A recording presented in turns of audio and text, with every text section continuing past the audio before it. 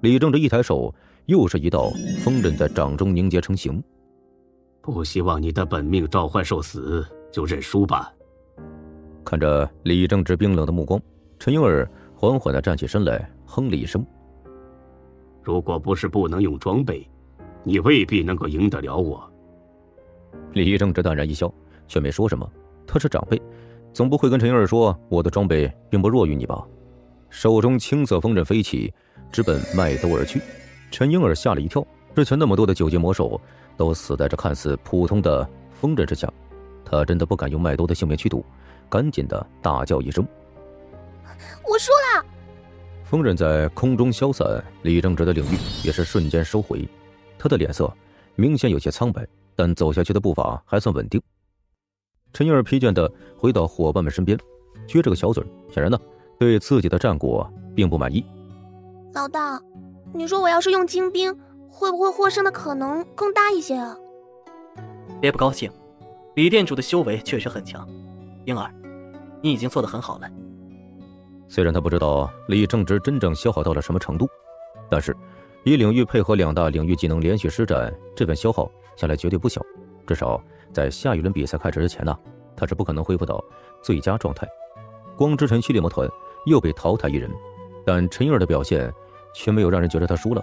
那可是三十六只九阶魔兽，足以对抗魔族一个神皇军团，绰绰有余。召唤师修炼到如此程度，已经不能用简单的巅峰来形容了。光芒再闪，这一次落在了林欣的身上。他的对手啊，是一位骑士。骑士圣殿最强的杨浩宇和龙天隐虽然被淘汰了，但依然有两人进入了第五轮比赛。由此可见，这两位骑士的强大。林欣即将面对的，就是一位拥有着领域的九阶神圣骑士。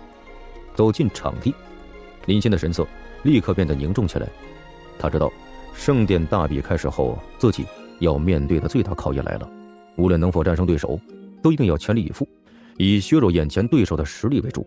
尽管这个对手是骑士圣殿的，但这一轮晋级的六人中，乙方很可能有三人能够出现。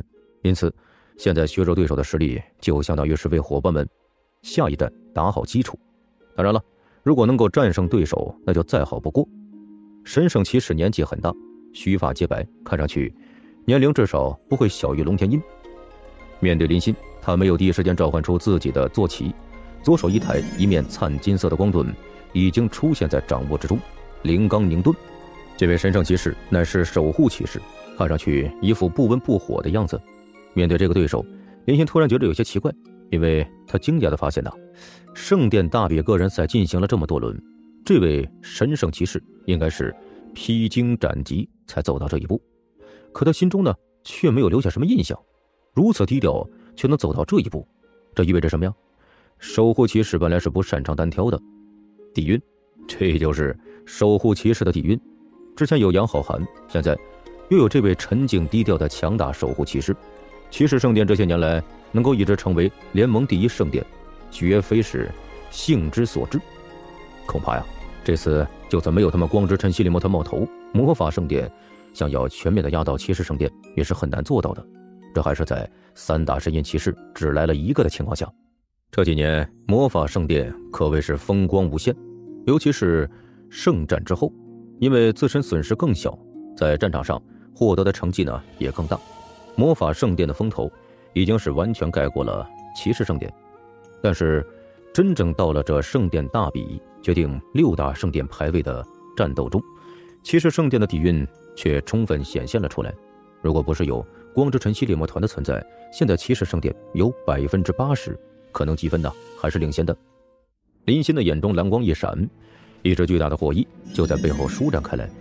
他的灵翼与普通的魔法师有很大的不同，首先就是大，灵翼的大小和实力是直接挂钩的。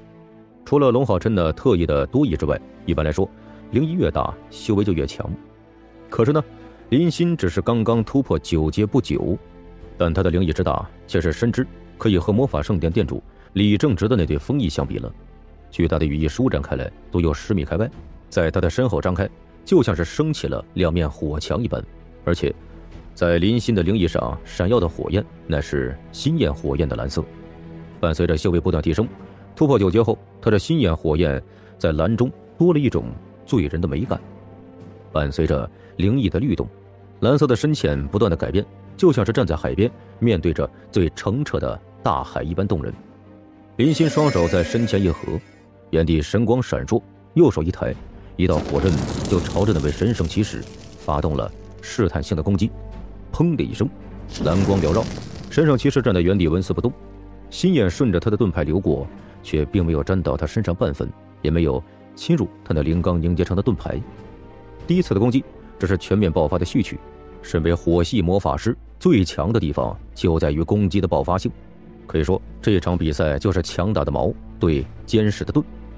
林心毫不犹豫地展开了全面进攻，只见他双手翻飞，一道道蓝色的火阵宛如蓝色闪电般飞向了神圣骑士。神圣骑士则是左脚略微踏前半步，做出了一个小弓步的样子，任由林心如何攻击。他手中的灵钢凝结成的盾牌都是高阶低挡，将那一道道心焰火焰给挡住。要知道，林心现在的心焰火焰攻击本就是灵钢级别的，但他却没能造成半点伤害，这就意味着这位神圣骑士在防御上必定有着独到之处。能够看到，神韵骑士脚下有着一圈不是很明显的金色光环释放，光环只是围绕在他身体周围直径五米的范围内轻微的律动着，金色光环。每当快到他脚下的时候，颜色会略微出现些许的变化，不仔细观看是不会注意到的。那是一种奇异的彩金色，七彩混合着金色的光芒。而这个就是神圣骑士所拥有的领域了。只是他这个领域呀，太不起眼了，以至于战斗了这么多场，虽说有人曾经说破过他拥有领域，但真正记住他的人还是不多的。如果要用一个。最简单的句子来形容这位神印骑士的话，稳重如山，再合适不过了。任由你攻击如何强大，我自防御不动如山。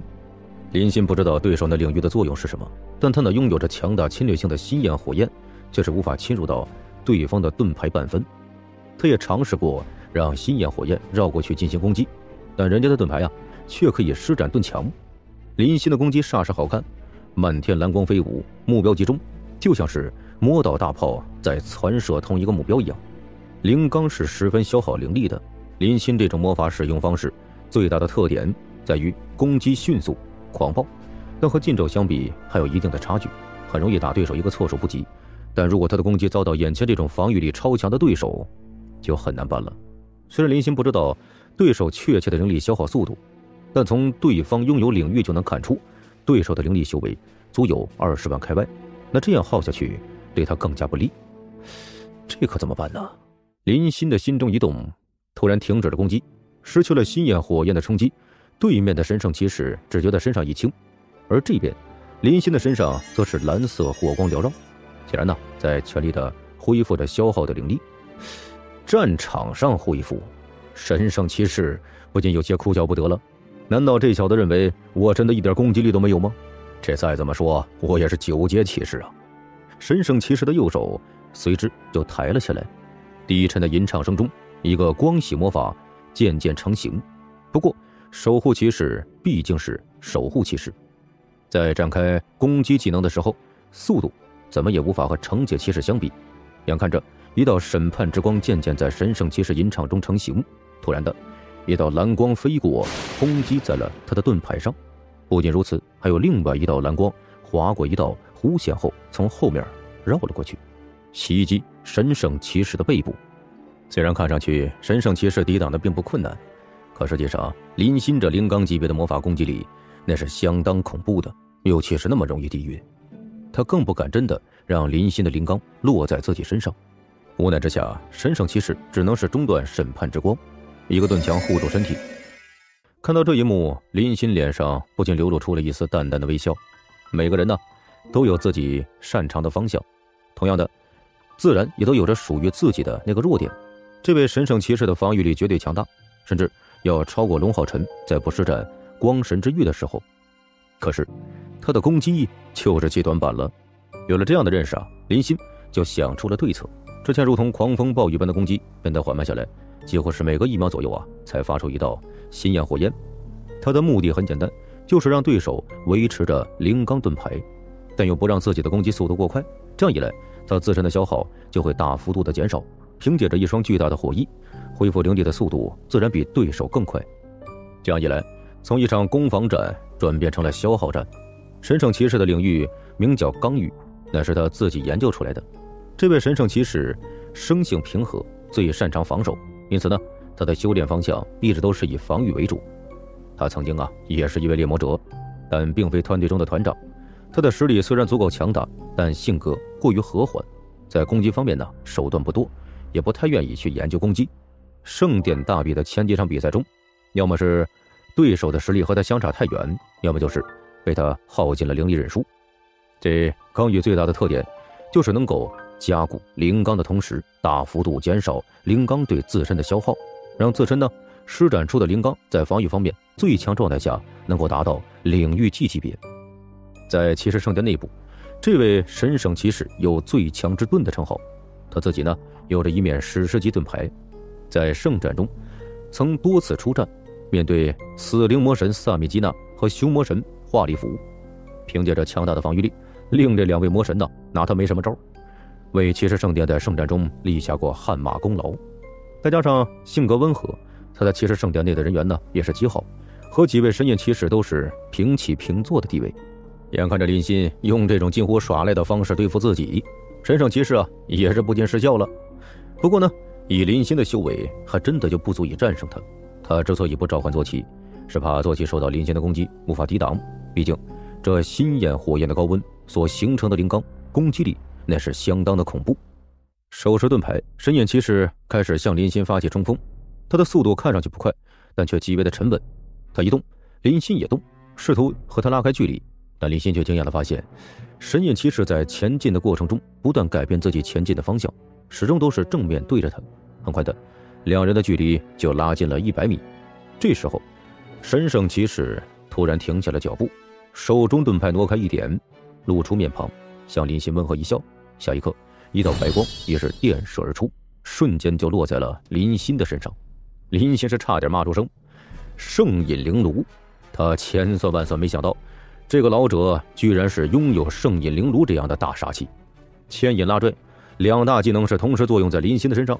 圣隐灵炉显然已被这位神圣骑士修炼到了最强的程度，以他那强大的防御力，又怎么可能没有圣隐灵炉的存在呢？也只有圣隐灵炉搭配上他的灵罡，才是战场上最强的防御者。林欣在修为上不如神圣骑士，只能是眼看着自己被一点点的拉扯过去。神圣骑士就算再不擅长近战，在面对面的硬碰下，也不是他一个魔法师能够对抗得了的。圣隐灵炉的目的，自然不是要把他拉过去击败，而是逼迫他不得不全力攻击。这是为什么神圣骑士向林欣露出微笑的原因了。拼了！比赛进行到这里啊，林欣便知道自己几乎是不可能获胜了。在这一刻，他心中有着一种怪异的感觉。一直以来。